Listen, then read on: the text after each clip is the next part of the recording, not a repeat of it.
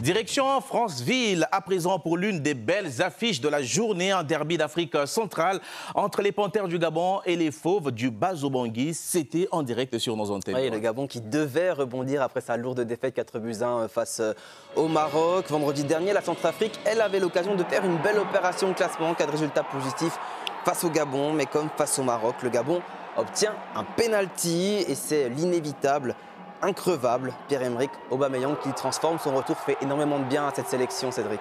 Oui, parce qu'il est toujours aussi précis, même s'il a raté un penalty face au, Maroc, mais c'est un joueur qui a énormément de, confiance et qui mène son équipe. Le Gabon fait la différence en première mi-temps avec un deuxième but signé euh, Babika. Euh, euh, le Gabon qui, s'insère vraiment dans une belle lignée dans cette partie avec beaucoup de, réalisme. Et les Fauves emmenés par bien mérité, certainement mieux avec le poteau ici de Namanga. Ce match très équilibré, 7 hein. tirs cadrés pour le Gabon, 4 pour la Centrafrique. Finalement, pas mal de regrets tout de même pour la Centrafrique qui s'en sort mm. pas très bien dans cette partie. Effectivement, avant de, vous donner la, parole et, d'avoir votre avis là-dessus, on va écouter les deux sélectionneurs TV Mouyouma et Raoul Savoie à l'issue de la rencontre.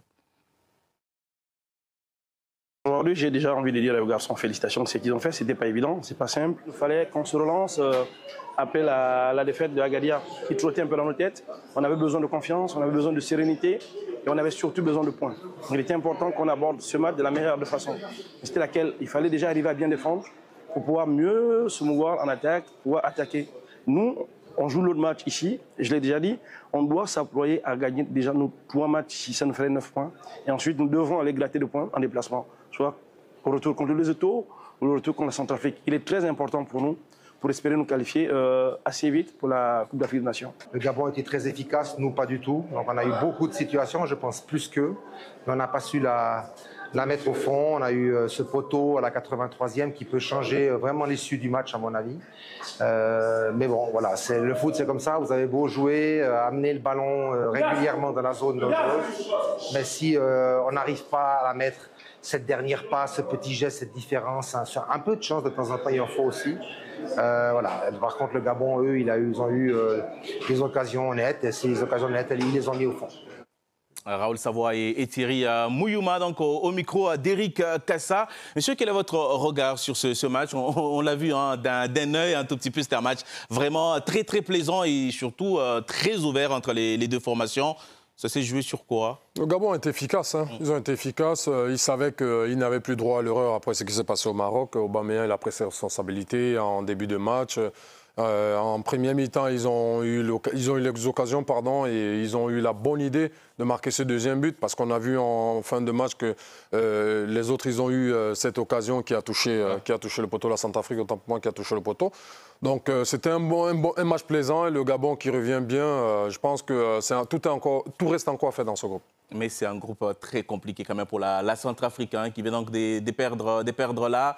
On avait vu une première journée très très plaisante. Ils tombent souvent dans des groupes compliqués. Mais bon, c'est pas encore, euh, c'est pas encore mort pour eux. Ils ont encore des opportunités. C'est pas mort, mais c'est difficile d'être toujours dans le groupe du pays hôte parce que le pays ah. hôte, il est automatiquement qualifié. Ça fait juste qu'il reste qu'une place. Et donc là, perdre face au, Gabon de deux C'est un concurrent direct. C'est un concurrent direct. Donc c'est un peu ça qui, qui va un peu compliquer la tâche. C'est dommage pour la Centrafrique parce qu'ils ont vraiment montré de belles choses. Et par contre, malheureusement, il faut, il faut être réaliste à un moment donné parce qu'on ne peut pas se procurer des occasions et ne pas les mettre au fond. Et c'est ce qui risque malheureusement, peut-être, j'espère pas pour eux, mais leur côté, une, une qualification. Le Gabon s'impose 2 buts à 0. Victoire très précieuse du Gabon. Mais avant de commencer, avant de débriefer ce match, si tu me découvres à travers cette vidéo et si on parle de foot, ici, nous, on est passionnés par le foot. Le foot, c'est notre passion. Donc, si tu es intéressé par la thématique et surtout, si tu aimes ce genre de contenu, n'hésite pas à t'abonner et d'activer la cloche de notification pour ne rien manquer les prochaines vidéos qui vont arriver sur la chaîne. C'est qu'on est parti. Alors, victoire, victoire vraiment très précise du Gabon qui s'impose contre la RCA. Le Gabon qui avait intérêt à battre absolument la RCA pour se relancer dans cette poule, sachant que le Gabon a perdu le premier match contre le Maroc 4 buts à 1. Le Gabon ne méritait pas de perdre 4 buts à 1. Je trouve que c'était un peu trop payé pour le Gabon. Mais au final, le Gabon a su a su rebondir face à la RCA. Il y avait notamment des 4 évidemment, tu as le capitaine Pierre-Emerick Aubameyang. Il est vraiment une équipe capable de battre cette équipe RCA. En termes de talent intrinsèque, le Gabon est largement supérieur. Pour moi, le Gabon est largement supérieur à la RCA.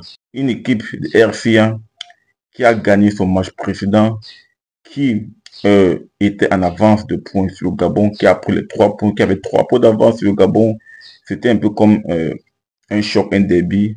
Et le Gabon a su, euh, ils ont su prendre le dessus sur la RCA, avec notamment Pierre-Emerick Aubameyang qui ouvre le score à la 11e minute sur penalty. Ensuite, Babiga à la 39e minute, il fait complètement le break, il plie complètement le match à 2-0 à 2-0, c'était presque game over. C'était vraiment très très compliqué pour la RCA de revenir. Et au final, le Gabon prend les trois points. Le Gabon a vraiment dominé ce match dans l'ensemble. Le Gabon s'est très vite poussé, cadré. Donc dans l'ensemble, une équipe gabonaise qui a légèrement dominé la RCA. Une victoire à mon avis logique du Gabon. Le Gabon se relance donc dans cette poule. Le Gabon prend la seconde place. Vous savez que dans cette poule, il y a le Maroc. Le Maroc, c'est le pays organisateur. Tu vois. Et comme le Maroc, c'est le pays organisateur, il y a seulement une seule place qui reste.